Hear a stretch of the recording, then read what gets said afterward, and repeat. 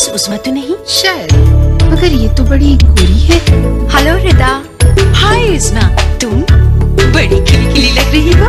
उस्मा इस्तेमाल करती है स्टिलमेंट्स ब्लीच क्रीम। इसका बाकायदा इस्तेमाल मुख्तर अरसे में आपकी जल्द की रंगत को निखार कर आपको खूबसूरत बनाता है। दुनिया भर में सबसे ज़्यादा फरोख्त होने वाली स्टिल ब्लीच क्रीम। रंगत